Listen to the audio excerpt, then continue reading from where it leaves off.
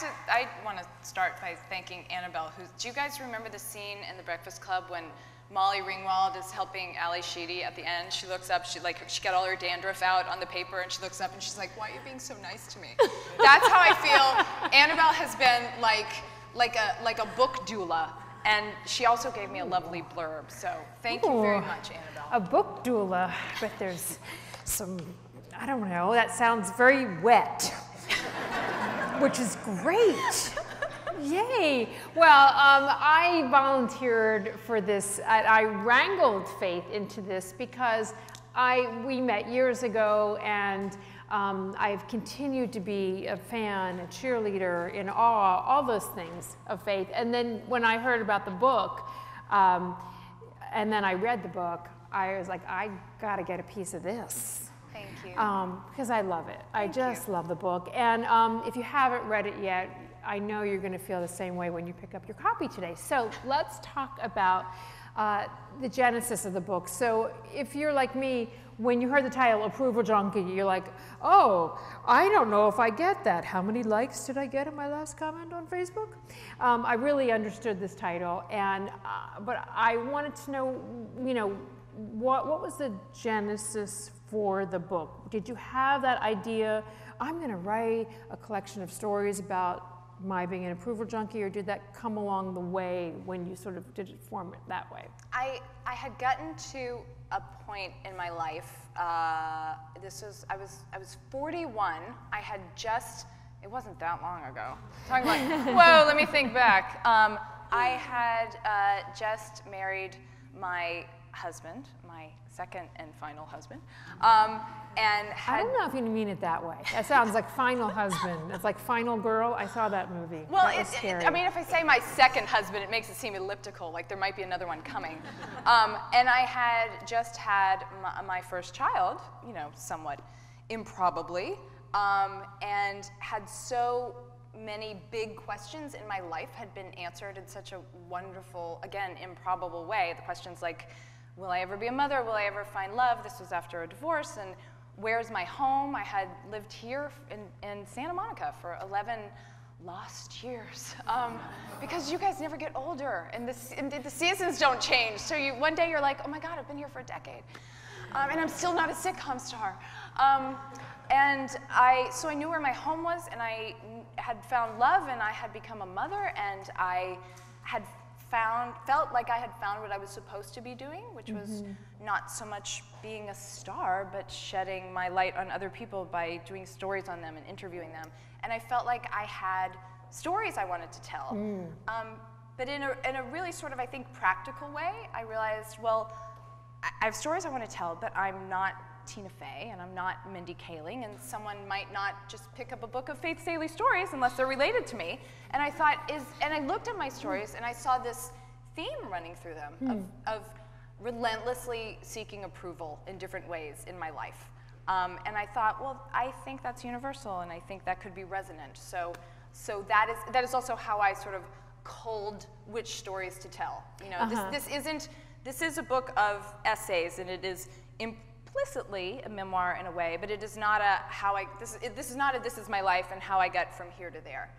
Um, Right, right. I mean, that's that is a different kind. It's the structure is there's uh, stories on the same theme, but it isn't it isn't a chronological narrative.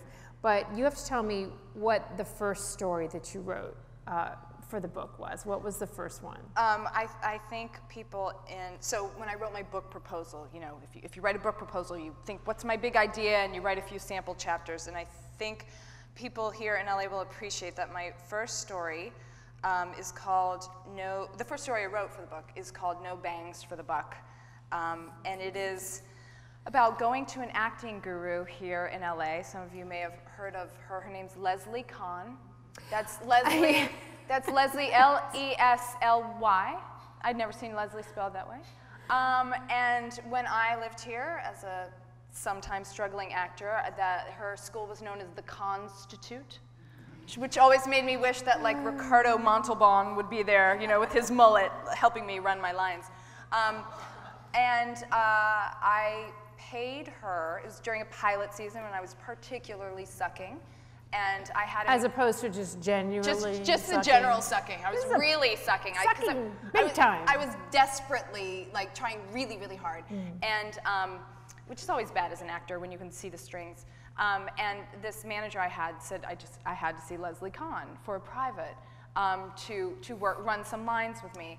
And so I went to Les to the Constitute one night. I drove from Santa Monica to the hills of Hollywood and went to the Constitute. And, uh, and it was a half hour session for $130. This is 10 years ago, so that's like $4,000 today. and a half hour on the con clock was 25 minutes.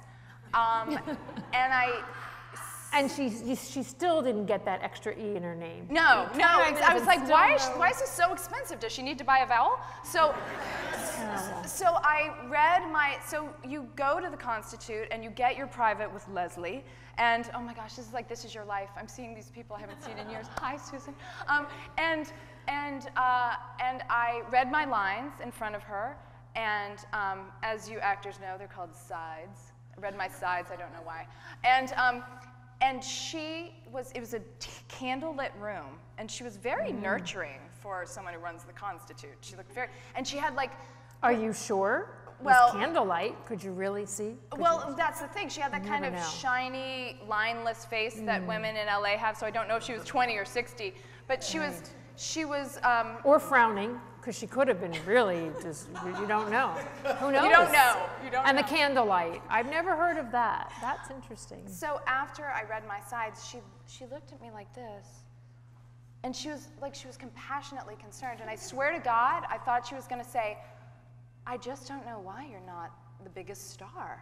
Like, but she looked at me and she said, "Why aren't you as pretty as I want you to be?" And but see, that's your reaction because you're normal people. My reaction, my thought bubble was, yeah, why aren't I as pretty as I want me to be? Like I'm letting you down, Leslie. I'm stealing your valuable time from other actors with more facial symmetry.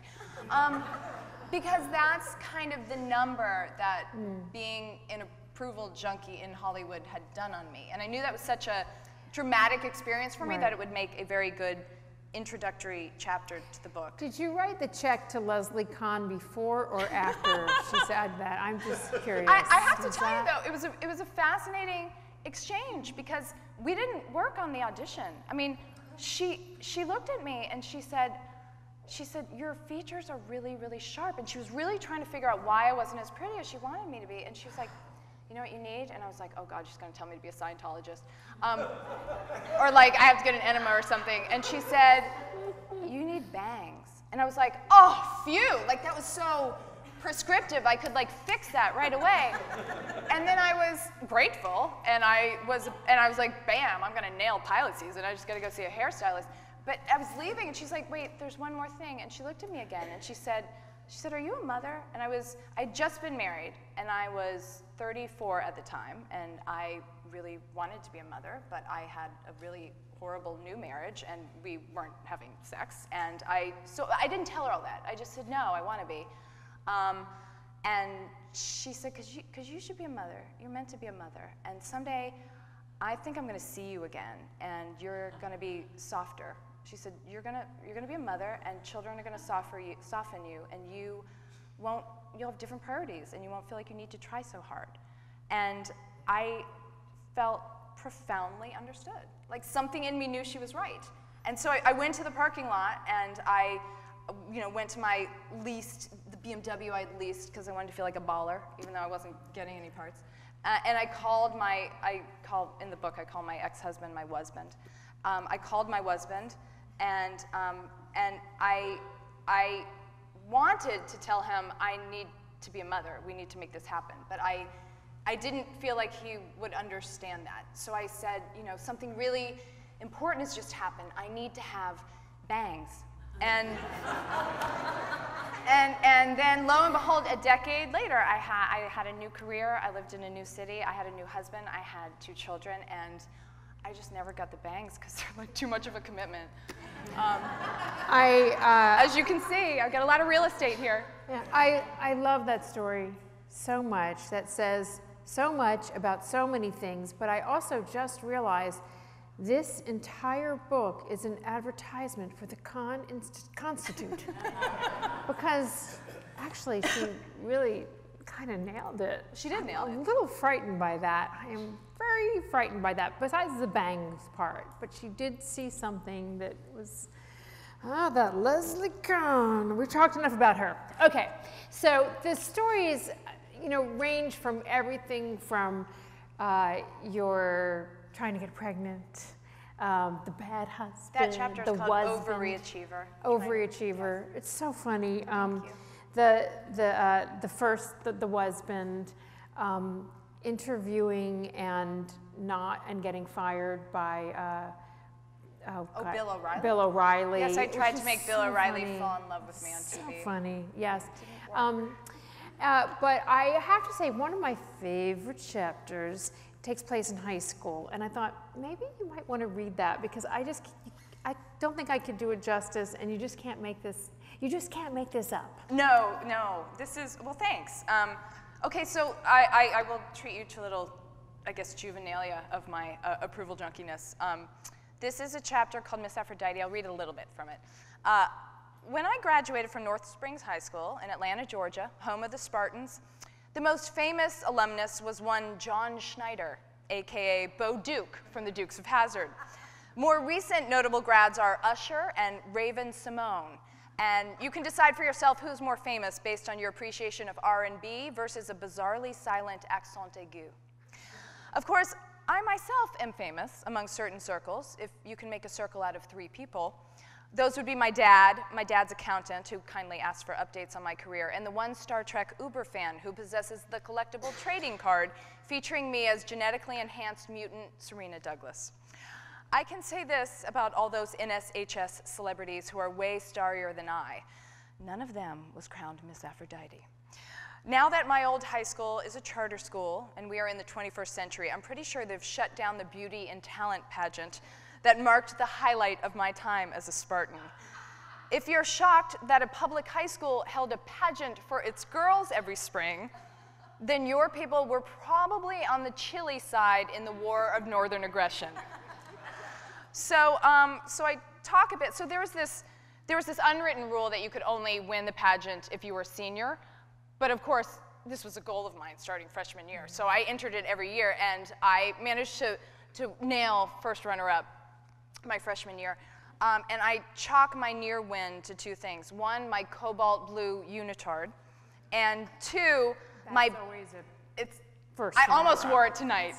Um, I was going to say you just haven't progressed much from that, but And two, my pandering answer during the interview portion. It's hard to compete with cobalt spandex, my friends, but it's easy to compete in it. Especially when you add bright red dance panties over it that keep giving you a wedgie while you earnestly sing nothing from a chorus line. Nothing is a song for a Latina character named Morales, and I'm the whitest person on earth, but I sang the shit out of that song. Which is easy to do since if you've ever heard the song, it's spoken. I let my shiny unitard do the real singing.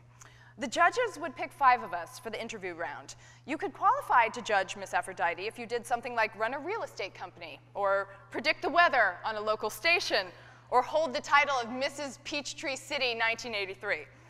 Freshman year, I'd already decided that no matter what my interview question was, I would answer Dr. Martin Luther King Jr. that seemed to be clutch, especially in Atlanta in the 80s when the city's slogan was the catchy Atlanta, the city too busy to hate. It just so happened that my answer lined up stunningly with my question, which was, What person do you admire most and why? Of course, I did genuinely admire what I knew of MLK, but at that point in my life, the most truthful answer would probably have been Molly Ringwald because she is so awesome and then some. So you may be wondering about the, the, the talent offerings of, of my rivals. The competition was stiff. Stiff as in awkward and self-conscious. Just as Sparta was a city-state known for its military, not its arts, North Springs circa 1986 to 89 was not a high school known for its performers. So, so Susan Woodworth twirled a non-flaming baton every year until she won. Um, let's see, there were a lot of girls singing Sheena Easton. Sadly, not Sugar Walls. That, that would have been good. Um, oh, Wendy Terratute sang the entire. So I mean, you really had to be creative in your mediocrity if you wanted to win.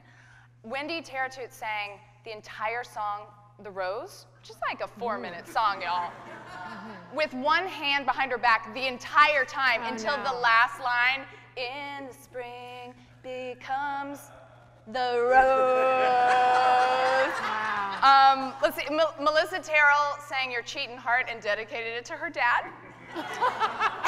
And um, oh, the, Laura DG came out dr- dressed in jodhpurs and just pulled a TV behind her um, and pushed play on the VHS player and played a video of her riding her horse, probably breaking her hymen, to the theme of St. Elmo's Fire. So that's that's what I'm talking about. So um, That that's stiff competition. so I, it, yeah. So, uh, so, so I, fast forward to senior year, and I, I did two things because you know time was running out. It was my senior year, and I really, I, I really needed to win this thing.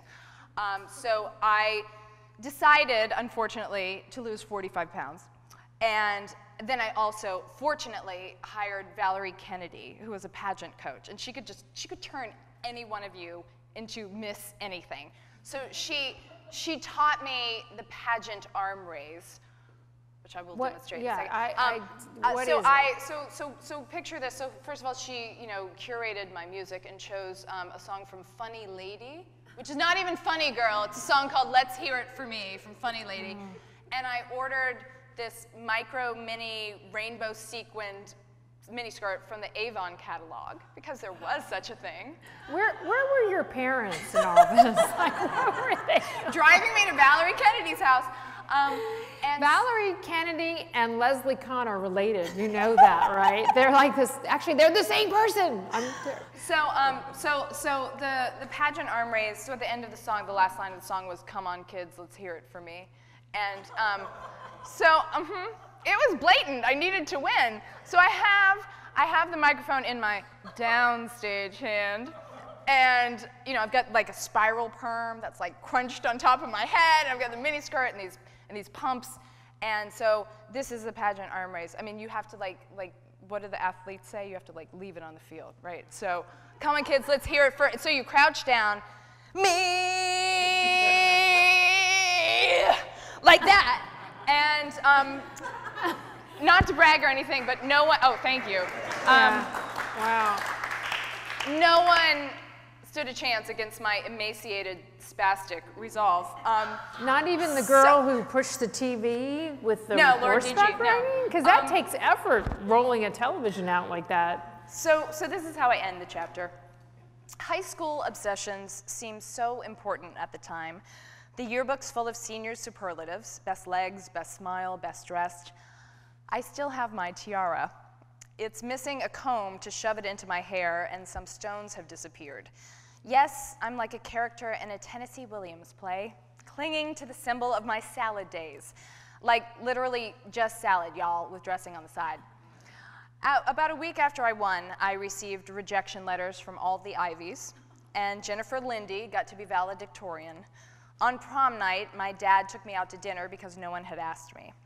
But for one brief shining moment, the Greek gods had smiled on me and welcomed me, welcomed me into their pantheon as Miss Aphrodite, goddess of beauty and love. I love casually telling people I won my high school pageant.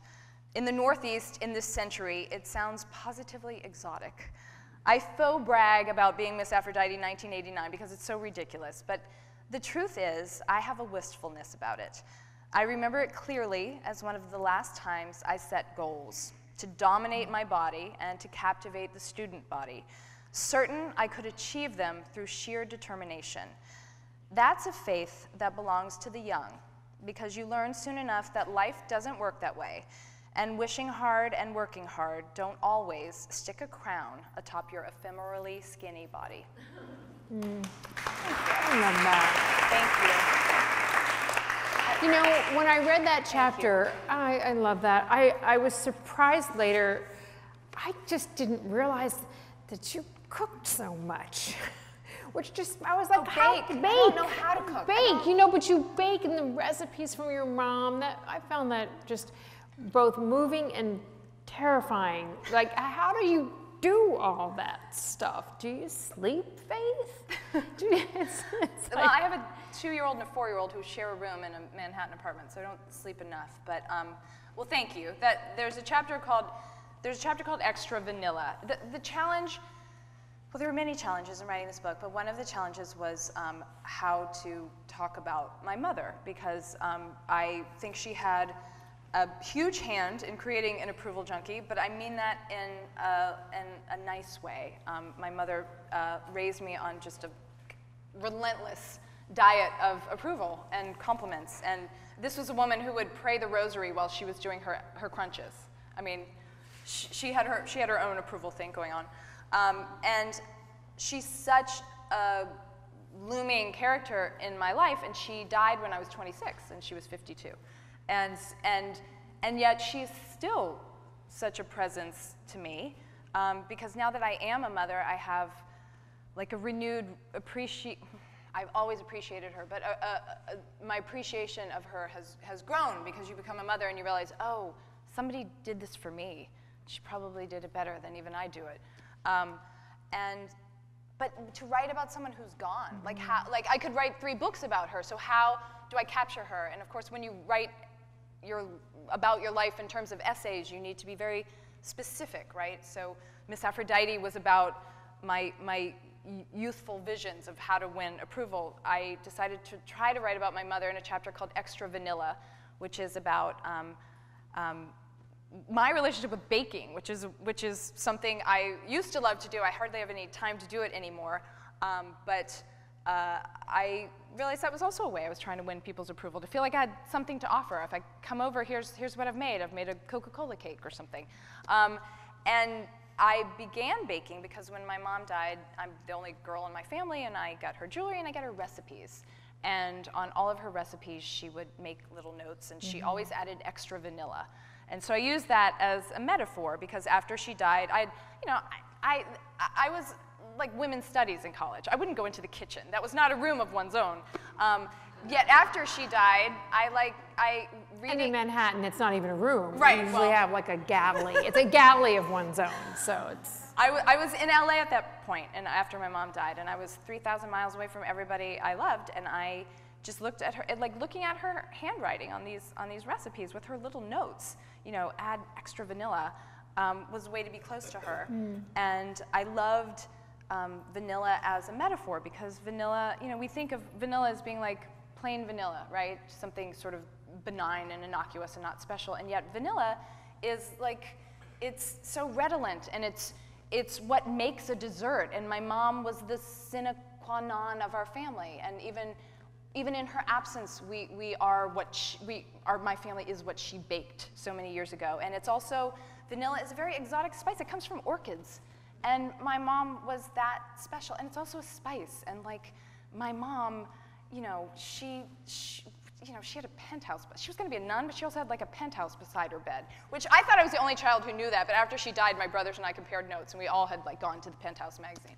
Maybe um, it was just there for you, Faith. Actually, maybe you just so, you happened upon it. Well, you know. So she was very spicy, and that was that was the way I tried to mm. explore my relationship with her through, through that metaphor. And I sort of talk about how I feel her spirit when I do find the time to bake and hand it off to people. And well, you know, I mean, I think I, when when you read the book, you'll see this. I mean, I think what's really successful about the book is the way you're pairing these hilariously comedic stories with this very. I mean, we do get a portrait of your family. You, you know, when you when you write about. Um, uh, the uh, what is it IVF, the, the, getting pregnant and not getting pregnant, and calling. I was just rereading that again this morning, calling your father and brother and having your father weep on the phone with you. That was just it's just you know heartbreaking, and it's so deeply personal.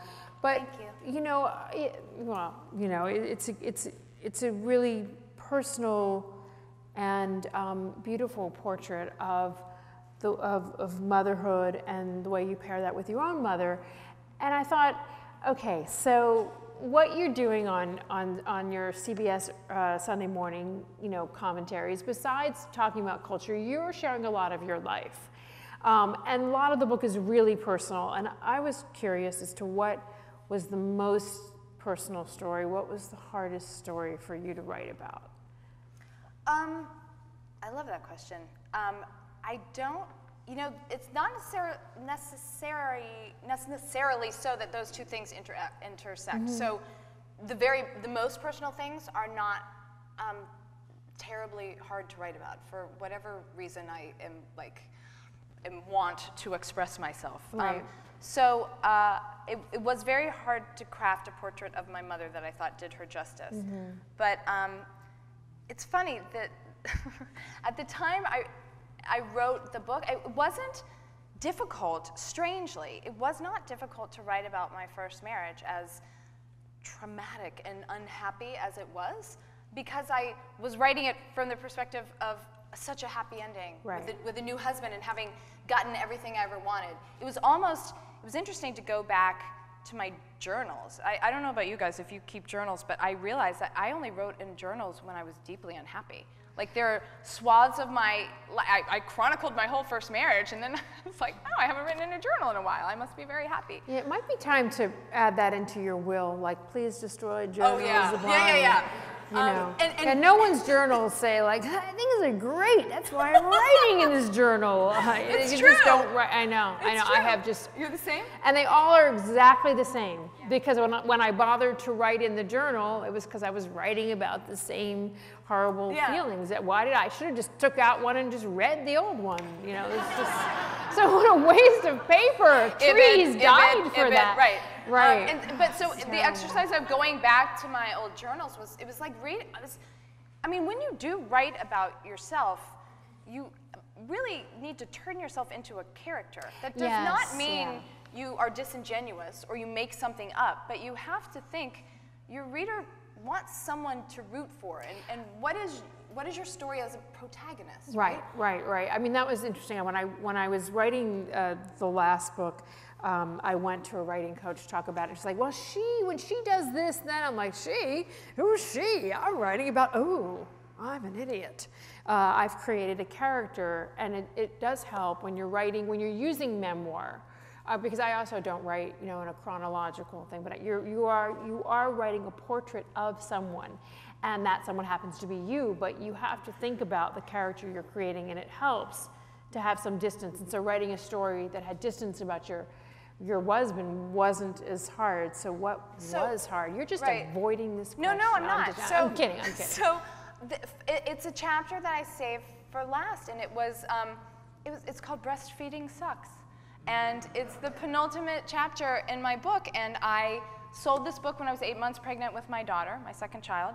And I, I mean, there were chapters I wrote. I have a chapter about my addiction to eyelash extensions, um, which I had for two and a half years. I don't have them now. I just have a lot of mascara on. Um, but as I was writing That's that chapter, I had no idea there were all these eyelash people you could go to, like dealers. It's like a black market. I've It's got a good Russian to get lady. a kidney. Yeah. I mean, I, I know, and your relationship with her is so deeply personal. That Oh, thank you. That might be.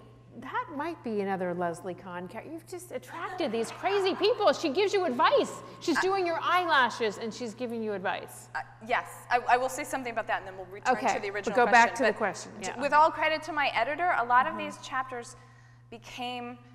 So, like the Miss Aphrodite chapter, I thought, I'm just gonna write a funny chapter about my high school pageant. That's hilarious. It's like my Napoleon Dynamite chapter. And I credit my wonderful editor with consistently asking me to dig deeper. Like, what does it mean that you wanted to be Miss Aphrodite so bad? And, you know, and I have, a, I have a chapter in here called The Best Hand Job Ever.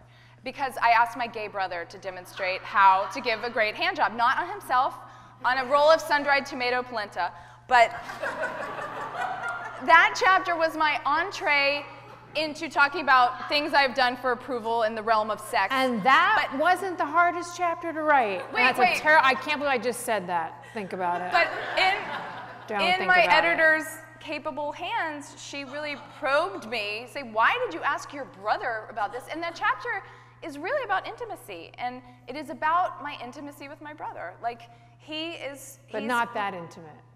Not that kind of intimacy. Not that kind of book. But it is, it's an under, like intimacy no, it is. is. when you can be naked with your eyes open with somebody and you can be naked with your clothes on. Like my brother you know, my husband has seen me, you know, uh, become a mother, but my brother saw me lose a mother. Like, so that chapter that is about, you know, called hand jobs and is about sex is really about intimacy with my brother. But it's also about hand jobs. It was very instructive. yeah, there's, there are some, I don't miss that thinking, oh, this is about intimacy. It's also about just technique, which is as important as intimacy. Don't sell that it's a given. There's, there are tips in there, tips.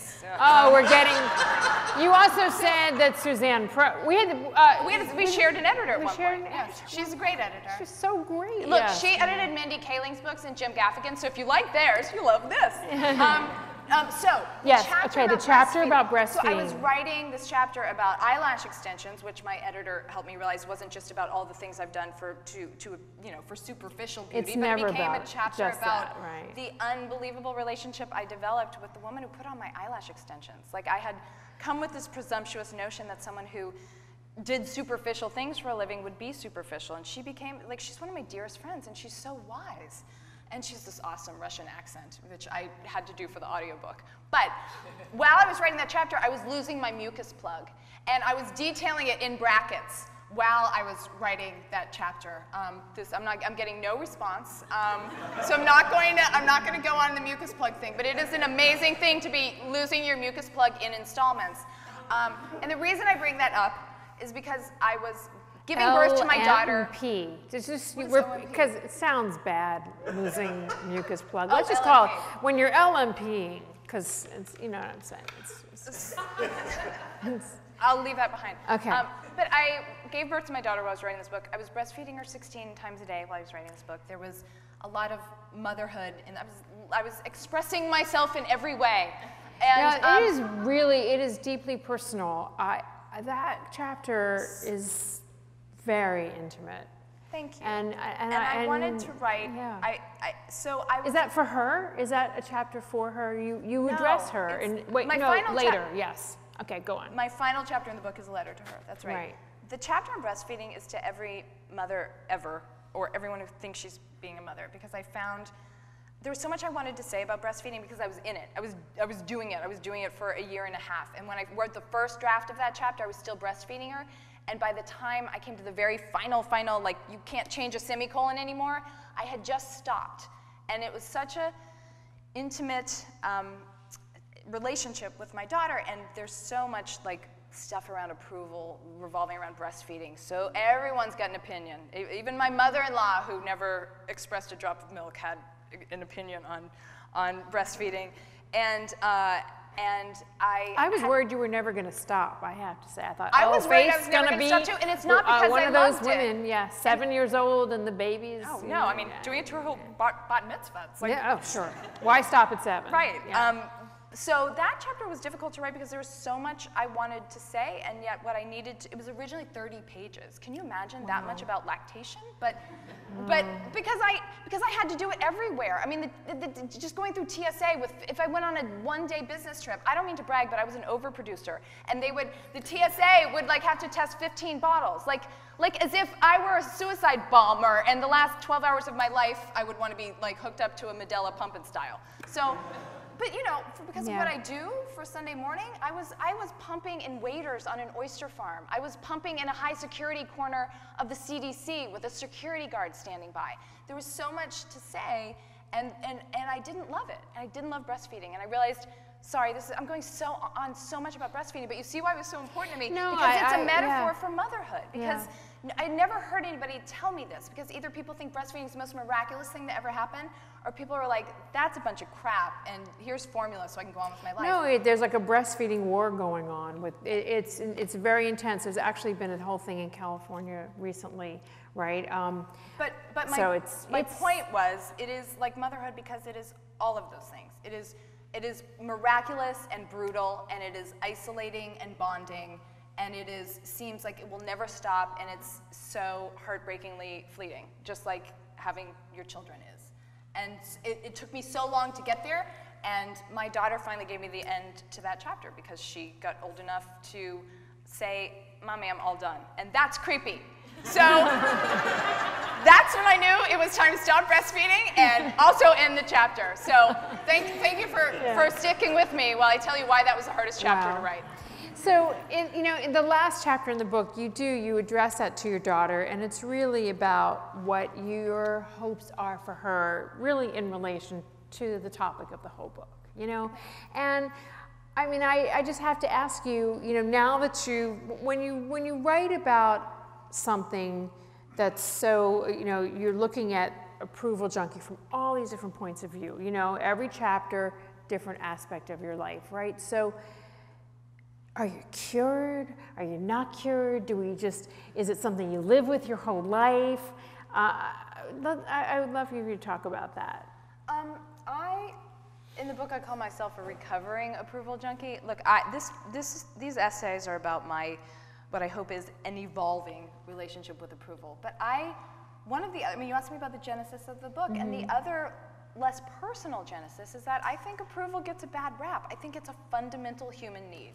And maybe it's because I have toddlers and I see how happy they are when I clap for them because they eat their vegetables. It's like at some point we're expected to grow out of feeling good for being told we did a good job or that we're loved or that you're funny or you look good today. And it's so fundamental. Validation is yeah. so fundamental. I mean, you know, in a way that, yeah, when you, when, you, when you write about it in the end and you're writing about, you know, a relationship with it that, you know, has some distance to it so you can see it.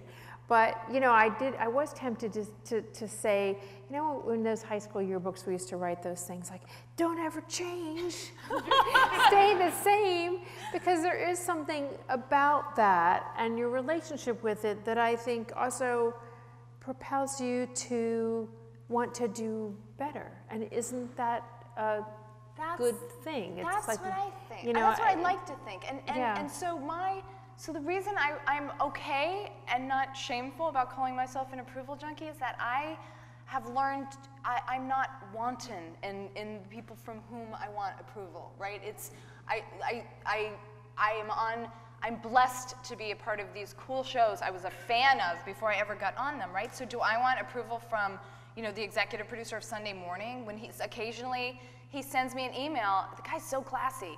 So, you know, if I always wait, if, my, if I have something on a Sunday, if I get an email from Rand, his name's Rand, at about 1 p.m. on a Sunday where it's like, I really enjoyed that commentary, or, or you know, it feels great. I'm not gonna mm-hmm. lie, that feels great. The guy's a genius. Or when I do Wait, Wait, Don't Tell Me and I make the other panelists laugh, I mean, they're my comedic idols. I'm psyched, right? I know. I, I mean, I, I, who, who isn't, is there anyone who isn't a fan of the show and a faith on the show? It's fantastic. Let's just say I, that. I, I, I won't say, well, thank you for, about that for me, but I was a fan before I was on the show. So, right. So, but the, but the, the junkie part of me mm-hmm. is that I just love stretching myself. Like, I don't mm-hmm. think an approval junkie is a people pleaser, because if you want to please people, you're just going to be sort of mired in mediocrity, right? You're going to end up you know, making sure your Uber driver gives you a five star rating. You're, you're never, I asked you're never my do Uber driver that the other day. I'm always wondering what they rate me, but um, I it's a, it's a little disconcerting because they won't pick you up if you have a bad rating. I know. So you should ask, and and ask them how they're doing that day. And do they want a sip of your water? Maybe I don't know. Uh, just just in case, just in case. But I, um, I feel like the, the approval junkiness that, that I'm happy to own is that I am always seeking my own approval. Okay, that I, so you have to read something which is uh, hilarious in the book. You include some hate mail that mm. you got from Fox. Yeah. Oh, yeah. Well, which is sort of a badge of honor. Let's so I was I was on Bill O'Reilly's. Yeah, it, it, yeah, it is. I was on Bill O'Reilly's show a couple of times, and and I write about it in, in a chapter where, you know, I, I was brought on the show under the idea that I was going to be a regular. Like they had pinpointed me as like a fun liberal gal, and um, it didn't go so well. Um, and so. Um, as, as, as you could kind of expect, but not you, Faith. Um, you, you, no, had, you had I, hope. I you, had hope. Faith had I hope. thought Bill O'Reilly and I would be like the Benedick and Beatrice of Fox News. And, and I was going to prove, you know, all those people who think there should be a draft for the war on the war on Christmas, I was going to prove to them that, you know, I wasn't, I wasn't a, a knee-jerk liberal Northeasterner. I was like a public school girl from Atlanta. And, um, it didn't work out that way. So, so I have this chapter about what it's like to be an approval junkie, but to express my opinions publicly, and um, which means to invite people to hate me, basically. Um, so I, I just sort of, I just put in a, a few uh, emails I got after I was on Bill O'Reilly's um, show. These are all real. uh, you really don't have much of a sense of humor for a fat ass's skank. Th- this is good. This was simple. It's just one line. And you're a complete tool because that was from that was from Jay in Vanessa. Like like an and like like as if this couple watches the O'Reilly Factor together for fun. And they Um, come up with a whole sentence between them. Just a couple of words. Or, uh, but okay, but, but you have So- to wait. You have to say that the one that called you a fat ass skank. Yeah. You have to mention that the shot was only from the waist up. Yeah, oh my gosh, yeah, it sent me reeling for the remote because I was like, does my ass look fat? And, and they shot me, you know, it's Fox, they just want to see your boobs. They had an imagination. You have a stupid airline slut, in all caps, appearance.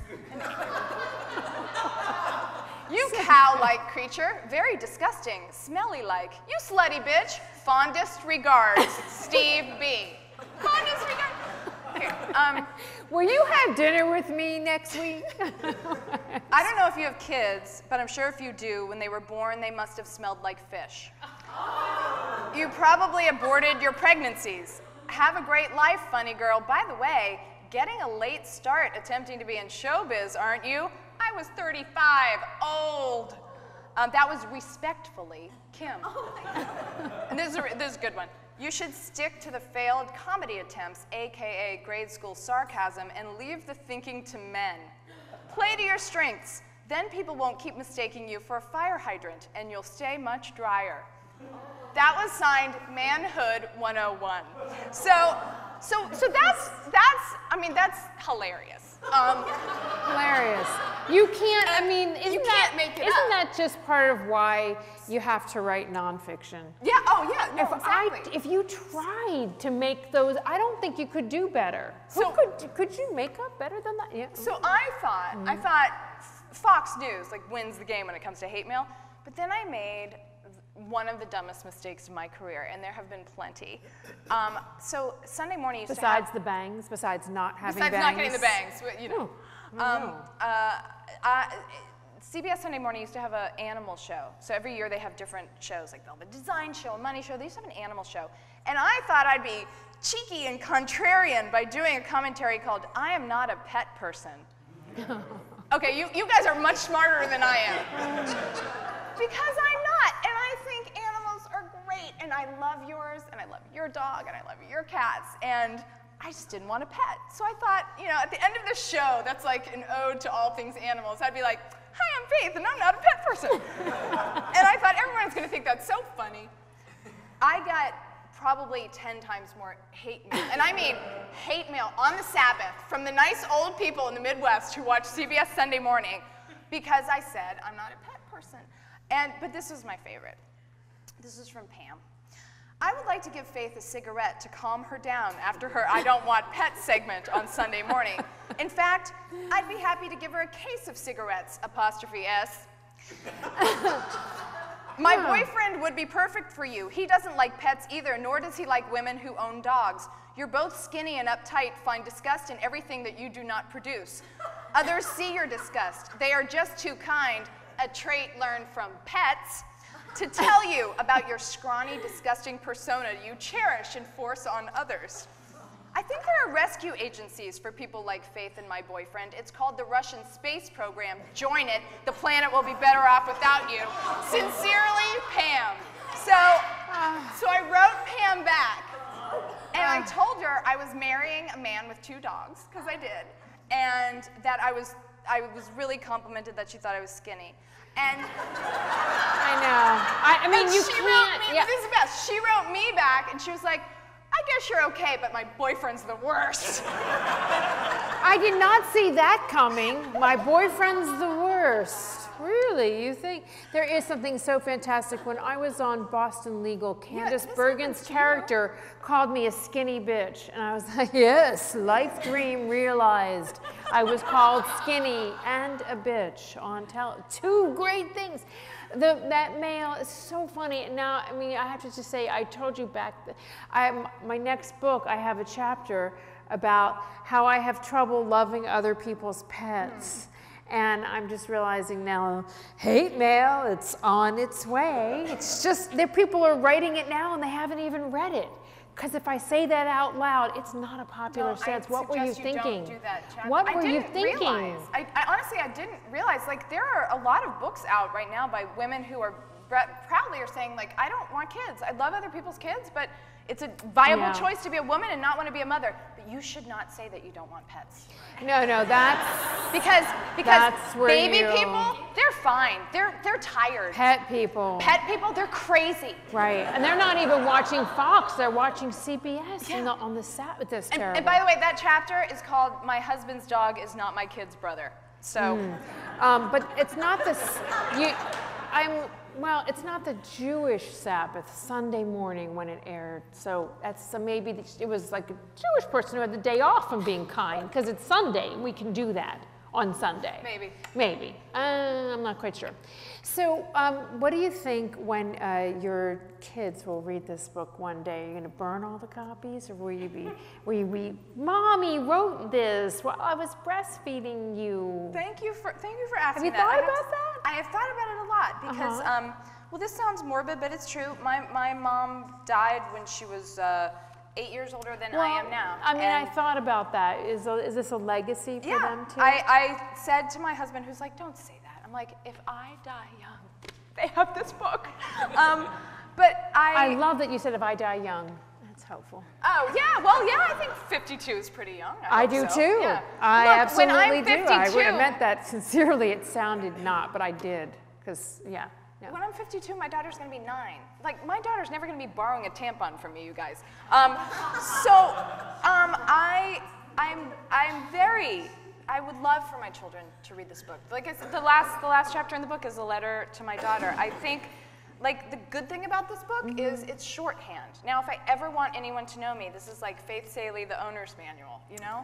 And I want them Oh. to know how much, I'm gonna get emotional. I want, I want them to know how much I wanted them and how how they saved me. Because um, sorry, um, because when you do become a parent, your relationship with approval has to change. Because if you're seeking approval from you know little people who think it's hilarious to do farts in your face in, in their diapers, like you're a masochist. So um, you know I, I and their friends. I, I, that you don't want to try to get approval from other children Oh, doing no, that. right. That's very. Um, I said this is my dedication because um, my uh, my husband also saved me. I say for John, who reminds me that I am always enough, and my children are Augustus and Minerva. I say, and for Augustus and Minerva, who teach me that I am more than I ever imagined. So, Hmm. so Leslie Kahn was right.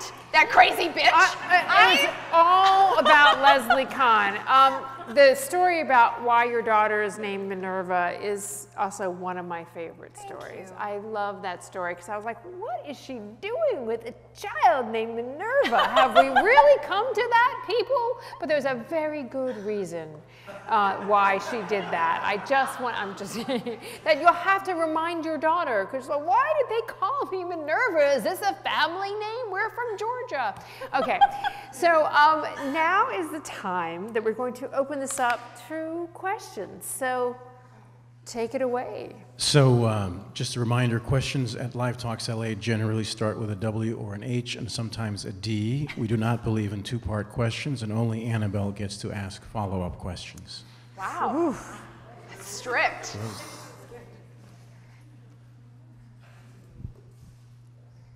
Would you tell us why you named your daughter Minerva? It was all a lead in.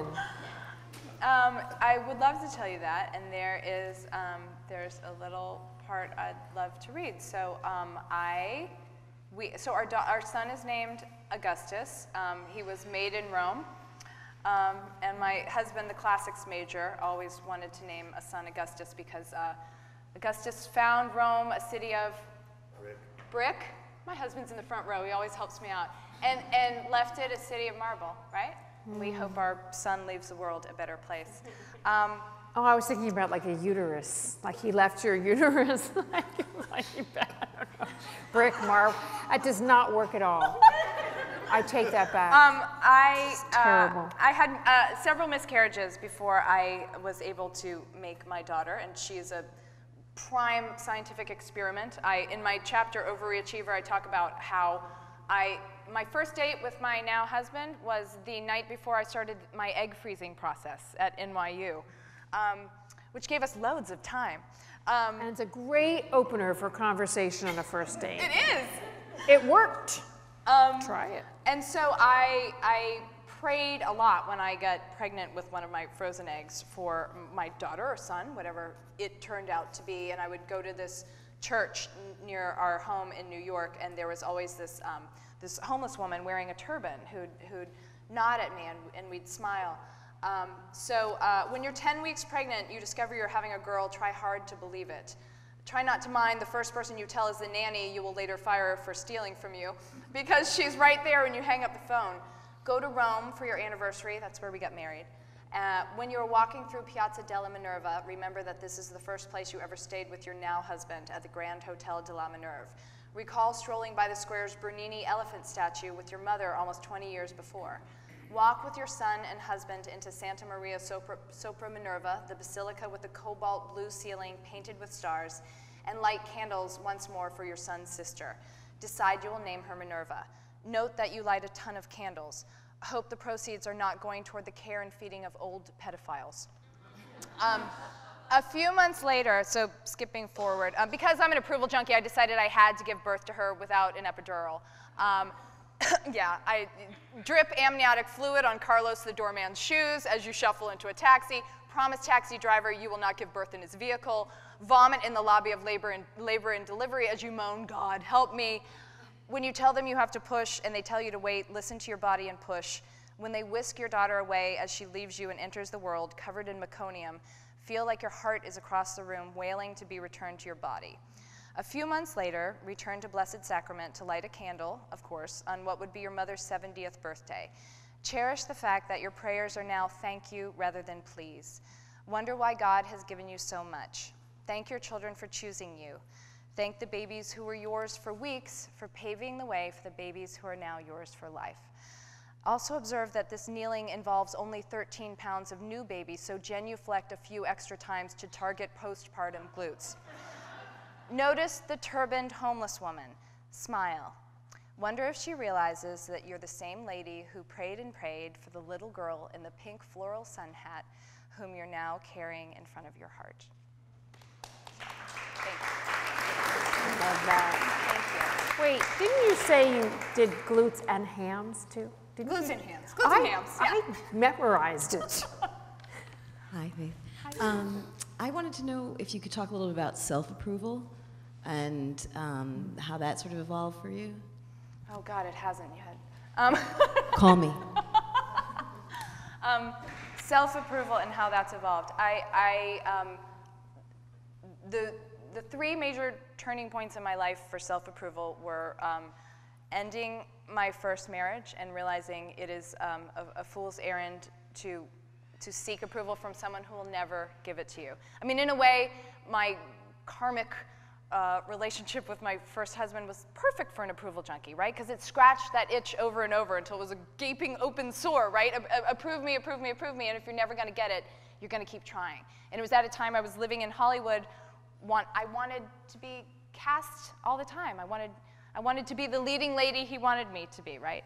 Um, so when I, my life utterly changed when I left the glamorous world of TV to host a national public radio show. I had a mouse in my office. It was the best thing that ever happened because I stopped wanting the spotlight on me and I, I turned it on other people and I learned how to interview and listen and help other people tell their stories. And so it became clear what I was supposed to do.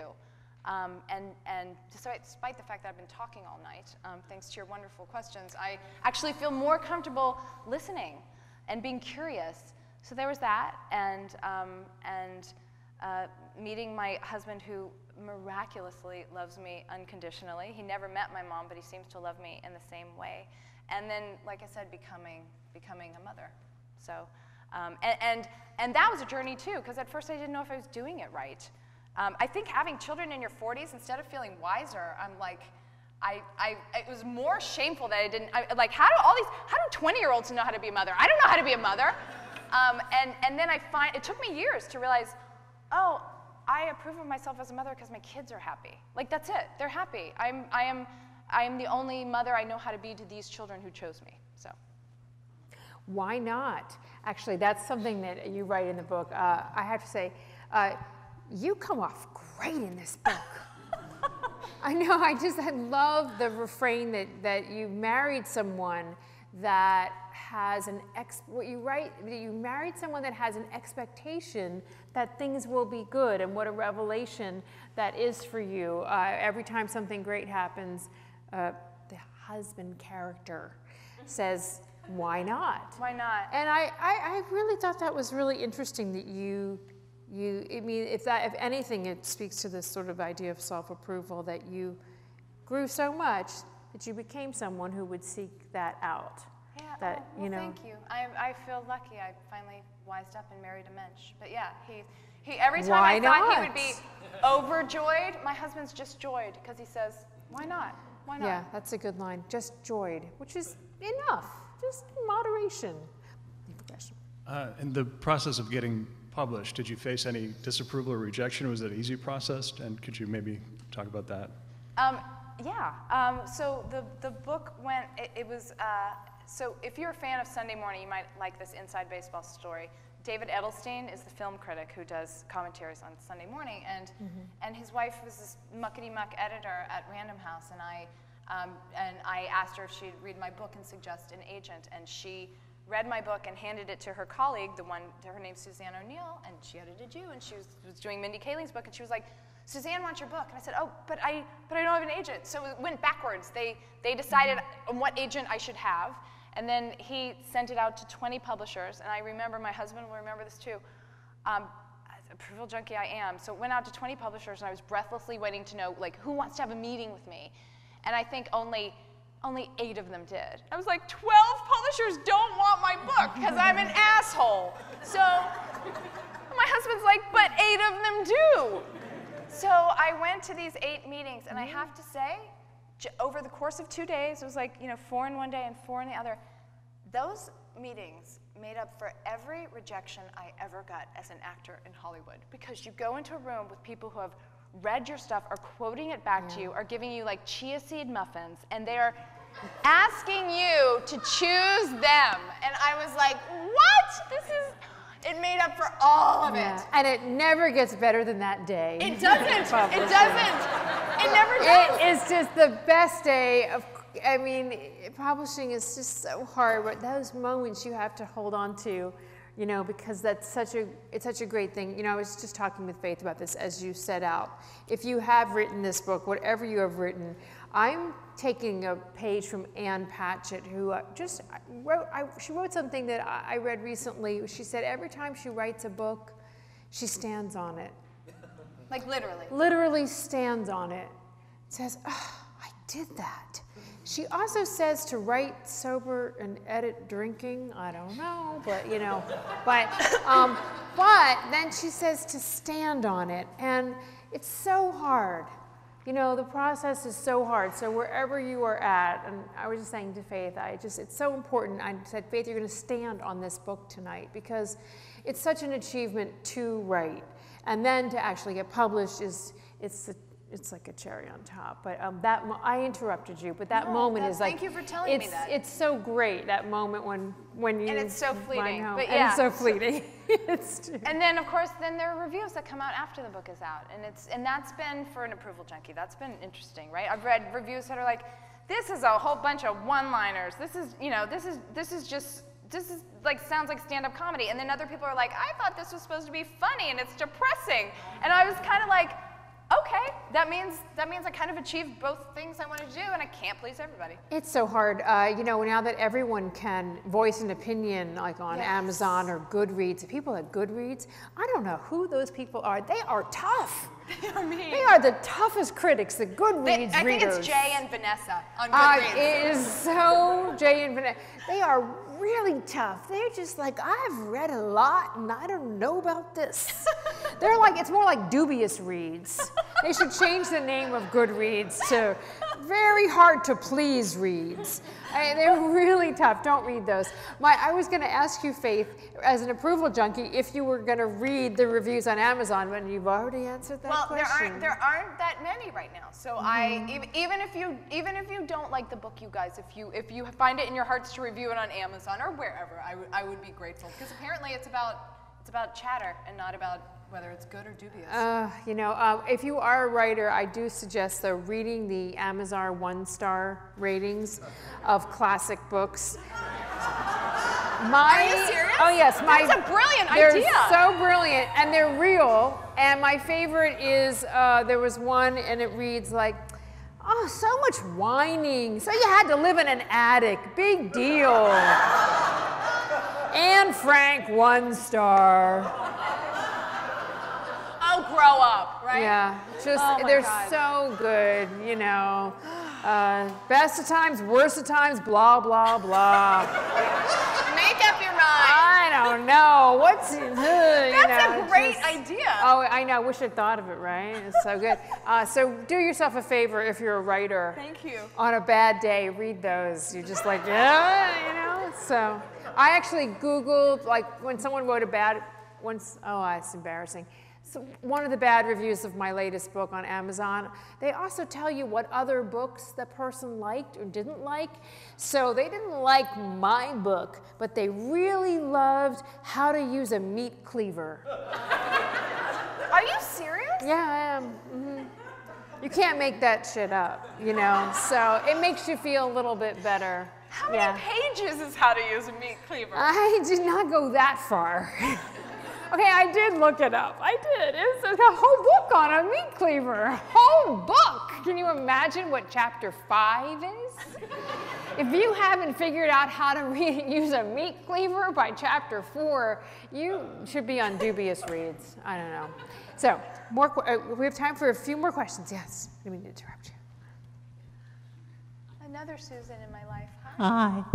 I want to say, I want to say that this is Susan Morgenstern, whom I haven't seen in years, and thank you for being here. And Susan, uh, I knew Susan when my mother died, so that's, 20, That's almost right. 20 years ago. And it was Susan who said to me, because you had lost your father not too recently Mm-hmm. then, she said to me, your relationship with your mother, I'm going to start crying again. Your relationship with your mother is not over. You will, you will come to know her in new ways for the rest of your life. Mm. Right. And I believed you, but I didn't get it then, right? Mm, right. Because I didn't have bangs. And now, now I have children and I get it. You're making us all cry now, Oh, Susan. I've it's cried your several times, as you can imagine. So, you know, I was a new faith back when. And so I have to say, I'm loving the book. Thank you. I can imagine there is someone who will not be approving of this book. My husband, yeah. And that's what's his name, the Wasband. And Leslie Kahn. yeah. Well, Leslie may love it because she's getting a lot of free PR. She but is. I'm wondering, uh, um, forgive me if this is kind of a cheesy question in this literary crowd, if you had to sort of uh, contact that human and, and no, I think that's an interesting question. and Yeah. say this is happening so just i'm not asking for your approval i'm just telling you it's happening because a lot of people will know who that is Yeah, it in doesn't. world. It takes two seconds to figure out who it is because uh, because internet. Um, I uh, did not care to check it out. Really? No, I didn't look. I did not Google who it was because I just didn't. I truly I didn't do hope I, I I would love if that was everyone's response because this is not his story and I um, I, I I could not tell my own story about my relationship with my about, with approval without including that relationship. I wish I could have because it is not his story and it is my story. Um, I did not I did not contact him. We have we have not been in touch at all. Um, bizarrely, we have well not bizarrely we have mutual friends. Um, but I did with everyone else in the book whom I wrote about, I did send them chapters and said, is this okay? Is this how you, you remember it? Is this okay with you? Um, I will say about my husband, who is here, he did not even ask to see them, he so, which I think is so unbelievably to his credit. There was no sort of editing or micromanaging. Um, but uh, my editor, again, I give her so many props. There were, she wanted me to humanize my husband. Um, you know, the first draft I called a vomit draft. It was like I just, I got to get all of this out, and a lot of it was like the letter that your therapist tells you to write and never send. It, and it was good, right? I was like, let me get this out and then have someone outside of me tell me what belongs in this book. And um, A lot of people call that, you know, the, the, it's actually an official title, the terrible first draft. Oh, yeah. Well, Anne, Anne Lamott calls it the SFD, the shitty first draft, right? Yeah. Um, and, um, and she suggested um, occasionally, like, what do you think he felt at this point? So, like, there's a chapter about when he, when I said I love you to him before he had ever said it to me. And when I said I love you to him, he said, I know. Um, and, and then I got my, you know, uh, because I was like as unevolved as Gollum, uh, when he proposed to me, I thought, well, here's my chance to like hold back. And I didn't cry and I wasn't moved and I just waited a little while and then I said yes, which is like such a Pyrrhic victory, right? But she, she suggested as an exercise to think like, what might he have been feeling? And it helped to humanize him. Um, interestingly, you know the amazingly famous writer Mary Karr, right? Best-selling author. I, I met her recently at a party, and I talked to her about this a little bit, and she was like, "Oh, I, I never write about what someone else is feeling. Like I, I tell all my students not to do that." And of course, I was like, I- and I, I didn't, I didn't have the presence of mind. I mean, she's Mary Karr. I didn't have the presence of mind to say, it clearly works for you, Mary Karr, whatever you're doing. But, but for me, it was, it was helpful. I don't say this is what he felt, but I imagine, I mean, I say perhaps he felt he did this because, right? But I did, this is just sort of another inside baseball thing. I did have an hour and a half phone call with the Random House lawyer who went through the book to, to make sure that I don't get sued. And it was very funny because um, uh, the, the few little details that he told me to take out is fascinating. That that uh, like take this out and this will inure you from from being sued. Um, and there were things that I could keep in, so it was an interesting process. My father is still not happy about a footnote I wrote that it, it- he once told. I write about my father having a horrible memory because I ask him things like, what, what did my mom, how long did mom breastfeed me? Like, what was it like when she, he's, he's always like, I don't know, I don't remember. And then I write in a footnote, the one thing my father remembers is he told me once that he remembers the moment all three of his children were conceived because he remembers banging my mother's cervix. And I, I don't mean that like, oh, it was a bang. I mean like he literally, literally bumped up against it. So I put that in the book and he's never forgiven me. It's a visual that is hard to get out of your mind. I, honestly, I don't think a good cervical bang makes a baby, but I'm, I may be wrong. I don't know. It, why not? I, you know, uh, that's, you know, it's interesting that you said that you did that. Um, I, I have found that to not be a great thing for me. I, I don't, I don't send people that I'm writing about. Oh, you don't? I, I did and now I don't. because I don't necessarily actually want their input. Like I, I have to, I, I really, really do think about, I really think about it, uh, what I'm writing. Um, and, and actually on my last book, I sent my sister the chapters about our parents and she had some suggestions and I did take those suggestions, but I, I'm not planning to do that on the next book. Um, it's a dicey proposition because Yeah. if you send that And they say, "I don't and like they say I don't like it, what are you going to do? Yeah, I mean, that did happen with a friend of mine, and I, um, I changed her name. I, d- yeah, I guess a former friend of mine. Yeah. I changed her name. And, and I softened some of it.